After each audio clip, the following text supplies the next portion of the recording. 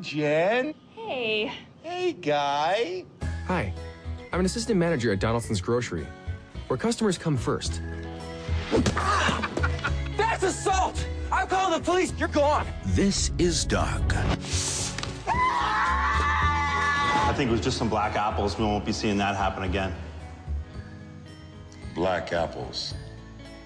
I said bad ones? This is Richard. I didn't mean to say black, I meant back. Blatch, blad. Blapples. This is where they live. Is that guy still standing on his balcony staring at us? Yeah. That's nice. This is where they work. There's a little bit of a lack of security in your lot because your security guy was sleeping in my car. This is what they want. Nice location. Yeah, I'm gonna put in for it, full manager. Yeah, me too. Hey, give me five. I'm still the shoe-in, right? I don't know.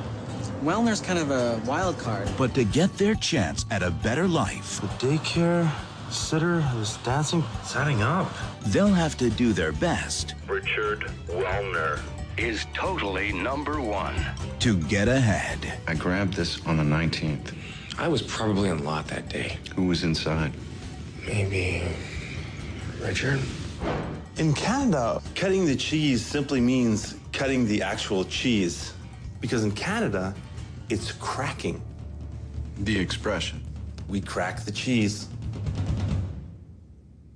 Cracking it? This summer, You're bogus. I'm bogus? Come on!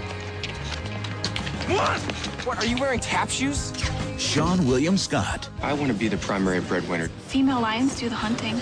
I'm not a lion. I'm a guy. John C. Reilly, We're all just out here trying to get some food.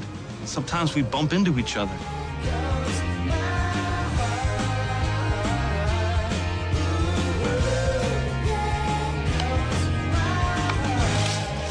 The Promotion.